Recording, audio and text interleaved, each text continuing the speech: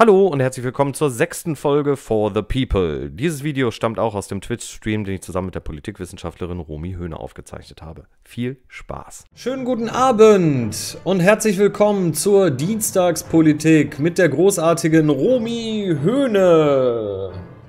Genau, unser Tag ist vorbei, wir haben alle Sachen gemacht. Ich fasse, wir haben jedes, jeden Tag haben wir bestimmte Briefe von den Bürgerinnen, Bürgerinnen und Bürger der Stadt, die bestimmte Dinge wissen, wo wir Dilemmata lösen müssen. Wir haben unsere Karte, wo Dinge passieren. Wir haben Ressourcenmanagement. Wir haben Briefe, beziehungsweise quasi kleine eigene Akten hier in dem Briefumschlag von einem pensionierten Journalisten, der Sachen in Eisen 1 aufdeckt. Und wir haben Dossiers über wichtige Persönlichkeiten der Stadt. Wir haben zwei Telefone ähm, und wir haben auch eine Landkarte. Da haben wir eigentlich noch nicht drauf geguckt. Ich habe auch Angst, da jetzt drauf zu gucken. Ähm, aber wir starten jetzt einfach mal den nächsten Tag. Ähm, und ich bin gespannt, was der 16. September bringen wird. Der 16. September 1988 nach der Spielzeit. Okay. Ah ja, okay. Ergebnis des 15. September. Wir haben äh, ein klein wenig Geld ausgegeben. Oh, wir haben etwas, ähm, etwas Ansehen in der Partei verloren. Minus 5. Und wir haben in keinem Bezirk unsere Zustimmung verbessert. Hm.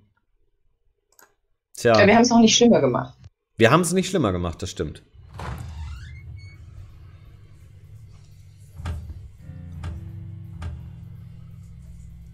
Ja, stellen Sie sich vor, er hat mich einfach verlassen, ohne irgendetwas zu erklären. Es tut weh, das alles zu sehen, solch eine schreckliche Gleichgültigkeit. Ich bin so wütend auf diesen undankbaren Menschen. Wie konnte er mit mir so umgehen? Das ist ja abscheulich. Wozu sagte er... Ah, guten Tag. Sind Sie das erste Mal bei uns? Ja, ich bin erst seit kurzem hier in der Stadt. Ihr habt es gut hier. Seit kurzem, genau wie unser, äh, genau, äh, genau wie unser neuer Vorsteher des Stadtkomitees, dann müssen Sie unser frisches Weißbier probieren. Es wurde heute am Morgen geliefert. Ja, danke. Ein Bier bitte. Und für den Vorsteher des Stadtkomitees gestatten Sie, mich vorzustellen. Mein Name ist Francis River. Also sind Sie Guten Tag, Genosse Vorsteher des Stadtkomitees. Ähm, Entschuldigung, dass ich zugehört habe, doch. Genosse River? Es ist so angenehm, Sie zu treffen. Ebenfalls. Ich dachte immer, dass Führungspositionen nur von alten Menschen besetzt sind. Ich denke, Sie haben vom Parteikurs der Verjüngung der Führungspositionen gehört. Übrigens, Emma Dorner, du kannst mich duzen. Sie können, einfach, Sie können mich einfach Frank nennen, Emma. Warum sind Sie denn so schlecht gelaunt? Weißt du, Frank, manche Männer schätzen einfach nicht, was man für sie tut. Ist so niederträchtig. Aber lass uns über etwas anderes sprechen. Ich möchte den Abend nicht verderben. Uiuiui. Ui, ui. äh. Lass uns auf diesen Abend trinken. Äh. Belana fehlt noch. Clear, clear.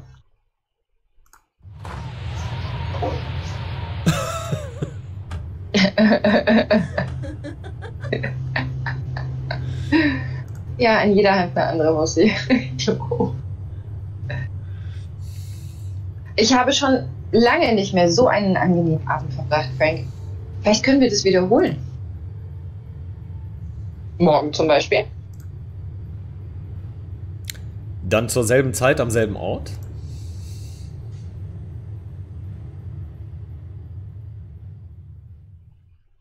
Okay, er hatte also auch ein Privatleben.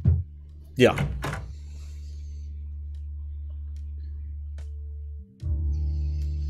Guten Morgen, Francis. Guten Tag, Helen. Ich sehe, dass du beschlossen hast, dass du keinen freien Tag brauchst. Oh, ich würde gerne einen anderen, Tag, einen anderen Tag reinnehmen, wenn Sie nichts dagegen haben. Sie haben zudem die offiziellen Dokumente für die Haushaltsverteilung nicht ausgeführt. Das ist nicht ganz einfach und ich könnte mir nicht verzeihen, wenn ich Sie ohne meine Hilfe alleine Ha, ha, gut, Helen. Also, welche offiziellen Dokumente muss ich ausfüllen? Zur Haushaltsverteilung, Francis. Die Mittel sind begrenzt und wir müssen zwei Behörden auswählen, deren Finanzierung die Stadt erhöhen kann. Bevor Sie jedoch eine Behörde für die Finanzierung auswählen, sollten Sie sich mit Ihren Berichten vertraut machen. Ich habe sie in einem Stapel auf den Tisch gelegt, anstelle der Beschwerden. Okay, geht direkt oh. rein hier. Tja, und dann steigen wir jetzt mal in die Sachen ein, die wir hier bekommen haben, also von den verschiedenen Behörden. Wir können zwei unterstützen, hat sie gesagt, ne? Mhm. Also fangen wir mit dem ersten an. An den Leiter des Stadtkomitees von Eisen 1, den Genossen Francis River von Carl Beckett, Chefarzt des ersten städtischen Krankenhauses von Eisen 1. Zustand des ersten städtischen Krankenhauses der Stadt Eisen 1 am 12.09.1988. Dienstfahrzeuge gemäß Plan 8, Dienstfahrzeuge vorhanden 8. Abnutzung der vorhandenen Geräte nix. Vierten Zustand der Räumlichkeiten der ersten städtischen Poliklinik, Räume entsprechend der Norm der Verordnung Nummer 18 des Komitees für Gesundheitsfürsorge der Gesamtkommune vom 11. April 1979. Meine Fresse. Zahlung der Gehälter festgesetzt, entsprechend dem Gesetz der Gesamtkommune vom Bla Nummer 23, erfolgt im vollen Umfang. Sechstens Gewährung der Sozialleistungen festgesetzt entsprechend dem Gesetz der Gesamtkommune vom Bla Nummer 23 erfolgt im vollen Umfang. Der Zustand des ersten städtischen Poly der ersten städtischen Poliklinik erreich, äh, erachte ich für mehr als zufriedenstellend. Ich schlage dem Stadtkomitee vor, eine rechtliche und finanzielle Grundlage für die Verbesserung des Systems der Krankenversicherung aller Angestellten der Stadt Eisen 1 vorzubereiten. Karl Beckett, Chefarzt ersten, des ersten städtischen Krankenhauses von Eisen 1. Ähm, das ist schon so eine Sache, die aus dem letzten Stream ist, ne? Mhm. Ähm, also, aber erstmal Poliklinik, das Wort, weil es im Chat angemerkt wird. Äh, Poliklinik kenne ich auch äh, ähm, aus äh, Westdeutschland. Also, das ist, ich würde nicht sagen, dass das äh, ein schönes Ost-West-Wort ist, aber äh, ähm, Horsti, sag mal, wie du das genau meinst. Also, ich kannte in meiner Zivildienstzeit, okay, das war natürlich auch nach der Wende, äh, kannte ich auch äh, mehrere Polikliniken äh, in, äh, im Westen. Also ich glaube, ich würde das nicht als Ost-West-Wort, aber ich lasse mich da gerne eines Besseren belehren. Auf jeden Fall hatten wir von Karl Beckett, der hat halt schon was mit dieser Krankenversicherung. Und wir, als wir die Rede gehalten haben in dieser Gießerei, in dem, in dem Wolframwerk, kam einer der Arbeiter und meinte, wir müssen die Reform der Krankenversicherung zurücknehmen. Also irgendwas mhm. ist da gemauschelt worden zwischen unserem Vorgänger, dem Arzt und äh, äh, irgendwie anderen Leuten. Also diese Krankenversicherung ist, glaube ich, nicht zum Wohle der Werktätigen. Ja, zumindest nicht zum Wohle aller Werktätigen. Weil soweit ich das verstanden habe, sind, sind nur die Mitarbeiter dieses Stahlwerkes mit der Krankenversicherung abgedeckt. Alle anderen glaube ich nicht. Ja, aber einer von den Mitarbeitern des Stahlwerkes hat, wollte uns ja nach der Rede ansprechen und gesagt, wir sollen die Reform überdenken. Also die. Wer weiß, was da noch drin steht. Ja, genau. Also das ist, äh, das riecht für mich alles ganz, ganz, äh, ähm, ganz, ganz schlimm. Mhm. Okay, nächste. Okay. Ja, das ist das nächste. An den Leiter des Stadtkomitees von Eisen 1, Genossen Francis River, von Oberstleutnant Silvester Bayer, Leiter des Brandschutzkomitees von Eisen 1. Bericht über die Lage des Brandschutzkomitees der Stadt Eisen 1, PA 12.09.1988. Lage des Brandschutzkomitees. Dienstfahrzeuge gemäß Plan 13. Dienstfahrzeuge vorhanden 10. Äh. Abnutzung der vorhandenen Geräte 70%. Shit. Viertens, es ist eine äh, eine Auffüllung durch folgende Fahrzeuge erforderlich. Mehrzweck Lösch- und Rettungsfahrzeug mit Vorrichtung zum Löschen mit temperaturaktiviertem äh, Wasser. Zwei Stück. Rettungswagen ein Stück. Fünftens, Zahlung der Gehälter festgesetzt entsprechend dem Gesetz des Gesamtkommune vom 22. November Nummer 23 erfolgt im vollen Umfang. Wie schön. Sechstens, Gewährung der Sozialleistungen festgesetzt entsprechend dem Gesetz der Gesamtkommune äh, erfolgt im vollen Umfang. In Verbindung mit der nicht erfolgten Zuweisung von Mitteln aus dem Haushalt im Laufe der letzten fünf Jahre zur Durchführung planmäßiger technischer Wartungen des Fuhrparks wurden drei Dienstfahrzeuge, die ihre Funktion nicht mehr erfüllen konnten, entsorgt. Die übrigen funktionsfähigen Dienstfahrzeuge erfordern eine umgehende, umfassende technische Prüfung zur Feststellung aller eventuellen Mängel sowie Durchführung der notwendigen Reparatur. Ausgehend von den obigen Aufführungen Ausführungen bitte ich Sie, dem Brandschutzkomitee Mittel aus der städtischen Haushaltsreserve für die Durchführung der oben genannten Maßnahmen sowie für Zukauf und äh, Anlieferung der benötigten Dienstfahrzeuge zuzuweisen. Von Oberleu äh, Oberleutnant Silvester Bayer, Vorsitzender des Brandschutzkomitees der Stadt Eisen 1.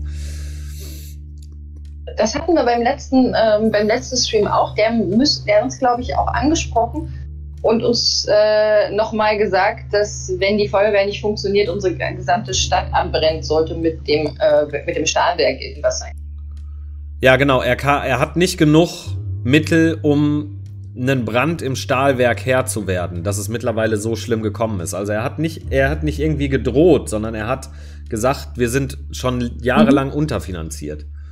Ich wäre jetzt das Klingt nach einer guten Möglichkeit zu fördern. Dann gucken wir weiter. An den Leiter des Stadtkomitees von Eisen 1, Genosse Francis River, vom Leiter des der AIS von Eisen 1, Oberst John Chester. Zustandbericht der Abteilung für innere Sicherheit. Abteilung für innere Sicherheit ist AIS. Der Stadt Eisen 1 per 12.09.1988. Zustand der AIS. Dienstfahrzeuge gemäß Plan 6. Dienstfahrzeuge vorhanden 6. Es ist eine Aufstockung des Personals der äh, städtischen Miliz im Umfang eines Zuges 30 Mann für die Gründung einer, eines Spezialkommandos gemäß Erlass des Vorsitzenden des Komitees für innere Sicherheit äh, erforderlich. Es ist der Kauf von Ausrüstung für die Gründung eines Spezialeinsatzkommandos gemäß Erlass des Vorsitzenden ähm, bla bla bla erforderlich. Es ist die Aufstockung des Dienstfahrzeugsfuhrpark um zwei Fahrzeuge erforderlich. Im einzelnen Kfz für die Beförderung von Verdächtigen und Angeklagten ein Stück, geländegängiger Lkw mit doppeltem Verwendungszweck und Antriebsformel 6x6, also Allradgetrieben, ein Stück. Sechstens, es ist die Zuweisung von Mitteln für die Zahlung von Gehältern und Gewährung von Sozialleistungen festgesetzt entsprechend dem Gesetz. Mhm ähm, der Gesamtkommune für das zu gründende Spezialkommando erforderlich, um Gottes Willen. Siebtens, mhm. Zahlung der Gehälter, festgesetzt entsprechend dem Gesetz der Gesamtkommune, erfolgt im vollen Umfang. Gewährung der Sozialleistungen erfolgt auch im vollen Umfang. Die Aufsteckung des Personals und des Fuhrparks ist verbunden mit dem Erlass des Vorsitzenden des Komitees für innere Sicherheit Nummer 14 vom 30. August 88 der alle AIS verpflichtet, zu Lasten der städtischen Haushaltsreserve ein SEK-Spezialeinsatzkommando für die Reaktion auf mögliche Ausschreitungen und Terrorgefahren zu schaffen. Ausgehend von den obigen Ausführungen bitte ich Sie, der AIS äh, Mittel aus der städtischen Haushaltsreserve für die Durchführung der oben, obst genannten Maßnahme sowie für Zukauf und Anlieferung der benötigten Dienstfahrzeuge zuzuweisen.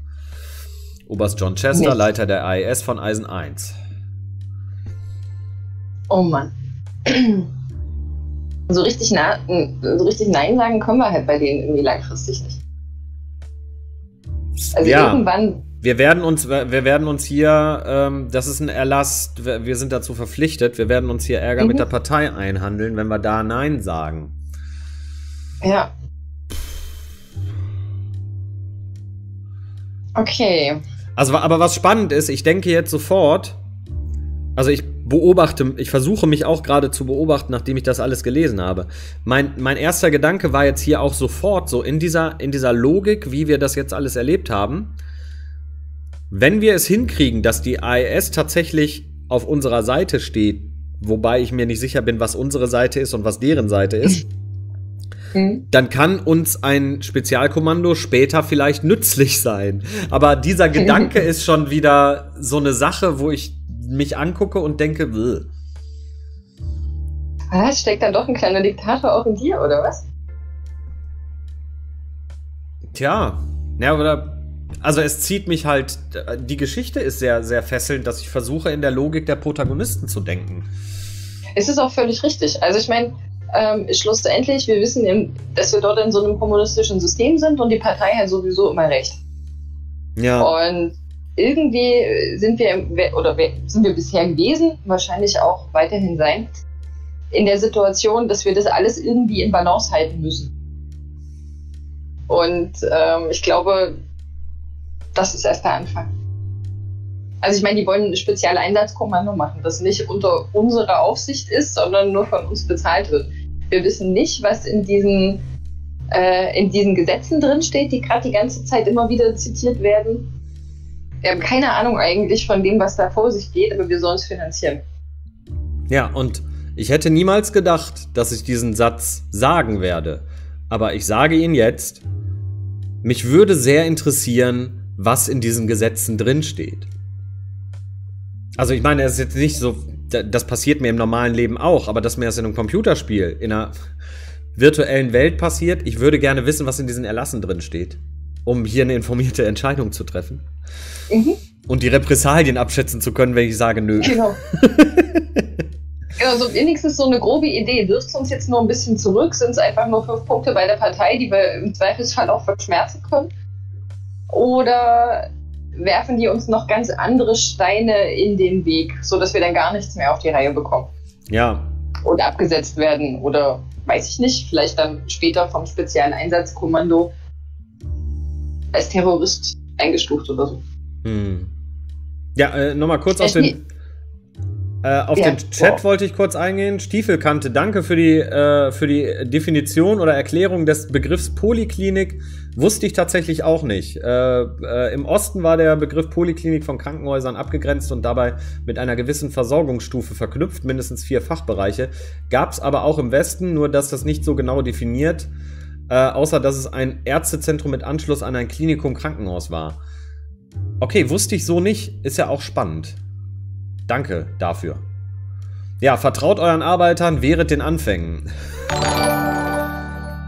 Oh, Edelhack! Ja. Hey! Edelhack ist da. Schönen guten Abend, Edelhack. Gut. Und der haut auch direkt mal einen Sub raus. Herzlichen Dank. Dankeschön.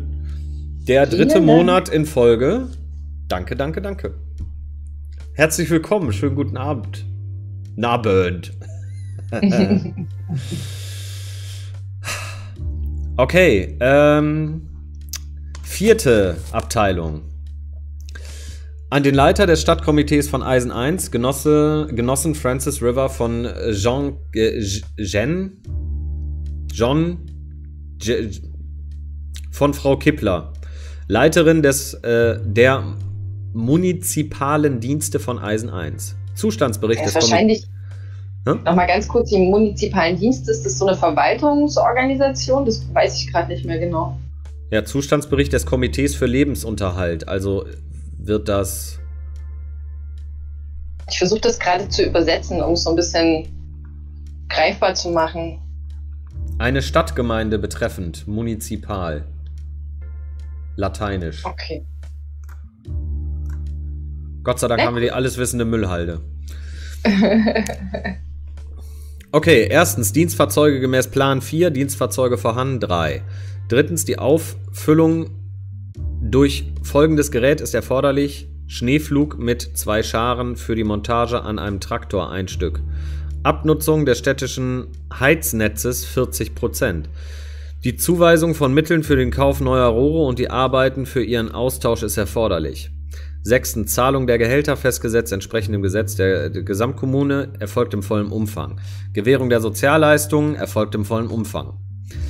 Bei der Durchführung planmäßiger Maßnahmen zur technischen Prüfung der gegenwärtigen städtischen Heiznetze wurde festgestellt, dass eine Abnutzung, dass eine Abnutzung 40% beträgt. Im Winter drohen der Stadt dadurch ernsthafte Probleme. Falls die Temperatur sinkt und unter den zulässigen Betriebsnormen bleibt, werden sich viele Einwohner der Stadt ohne heißes Wasser und ohne Heizung wiederfinden. Außerdem wurde eine planmäßige technische Prüfung der Schneeräumgeräte durchgeführt, im Laufe derer festgestellt wurde, dass ein Gerät gestohlen wurde. Die entsprechende Anzeige wurde der Miliz bereits übergeben, weshalb wir ein fehlendes Gerät hinzukaufen müssen. Ausgehend von den obigen Ausführungen bitte ich Sie, den munizipalen Diensten Mittel aus der städtischen Haushaltsreserve für die Durchführung der oben genannten Maßnahmen sowie für Zukauf und Anlieferung der benötigten Dienstfahrzeuge zuzuweisen. Jean Kippler, Vorsitzender des Komitees für Lebensunterhalt der Stadt Eisen 1. Oh Gott.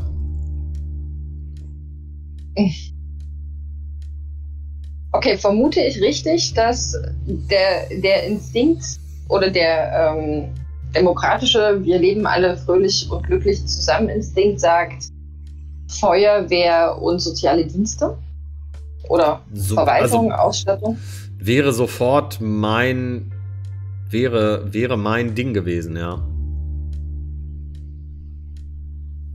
Meins auch. Und wir wissen aber in der Logik des Spiels, dass das wahrscheinlich keine gute Idee ist.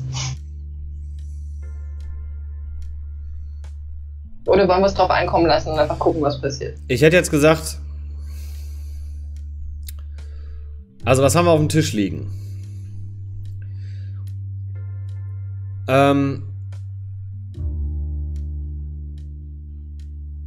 Also ich versuche jetzt mit der geringen Informationen, die wir haben, äh, ähm, etwas zu Schlussfolgern, nämlich ähm, die Sache mit dem, äh, die Sache mit dem Krankenhaus fliegt schon mal raus, also mit äh, Krankenversicherung aufstocken, äh, weil das ist nicht unser drängendes Problem und wir haben Zweifel. Diese Nummer mit dem Sondereinsatzkommando ist eine Verfügung. Wenn wir der nicht zustimmen, haben wir eventuell Ärger mit der Partei. Aber da das ein Erlass ist und eventuell so wichtig ist, werden sie uns an irgendeiner Stelle zwingen, entweder ins Minus zu gehen oder so und das trotzdem durchzuführen. Würde ich jetzt äh, pauschal mhm. unterstellen. Wenn wir, wenn wir die Feuerwehr nicht äh, ausstatten, dann laufen wir Gefahr, dass die ganze Nummer abbrennt. Wenn wir Schneeräumung und Heizung nicht ausstatten, laufen wir Gefahr, dass wir keine Produktion mehr haben dass wir in irgendeiner Form wirtschaften können. Ja.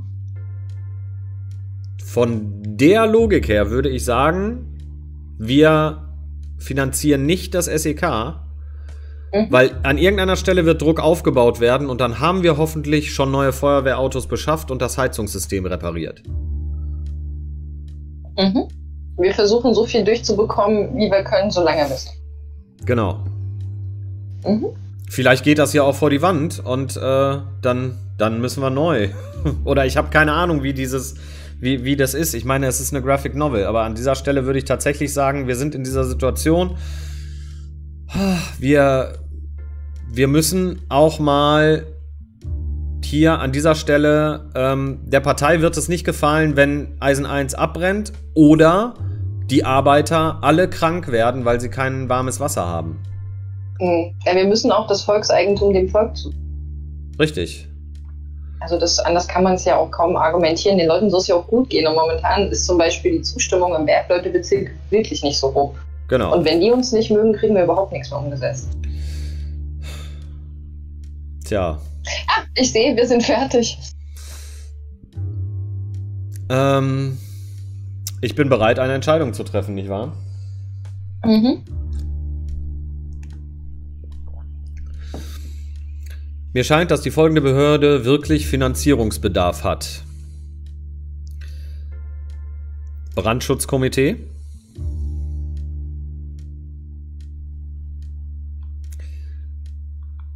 Äh, Entschuldigung, äh, schön. Bleibt noch die zweite Behörde auszuwählen. Äh, ich denke, das Stadtkomitee muss helfen. Dem Komitee für Lebensgrundlagen. Ja. Gut, Francis. Den Rest erledige ich selbst. Helen, warte mal. Reicht das restliche Geld auch für uns selbst? Es hat immer gereicht, ja. Genosse Lebowski hat von Zeit zu Zeit ein Gebietskomitee angerufen und Unterstützung angefordert, wenn das Geld im Haushalt knapp wurde. Und Sie sind ihm entgegengekommen? Ungewöhnlich. Ja, aber über diese Anrufe hat man sich in Gebieten nicht gefreut, wenn Sie das meinen. Aber ja, Geld ist bald gekommen. Also, Dann muss ich auch mal mein Glück versuchen. Ich bin sicher, alles wird gut, Francis. Okay, warte mal, die, die, die Stadt war ähm, ständig am, am äh, Rande der Pleite und der alte Ortsvorsteher hat sich Gefallen erkauft? Anscheinend. Oder andersrum hat sich äh, kaufen lassen?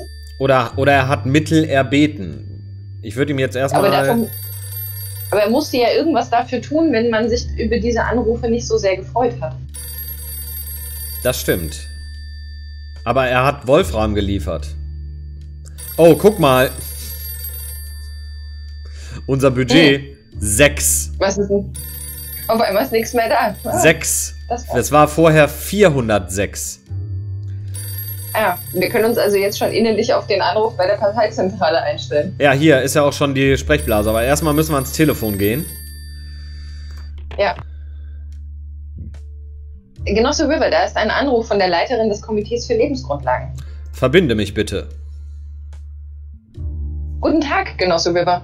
Hier ist das Komitee für Lebensgrundlagen. Guten Abend, Genossin Kippler.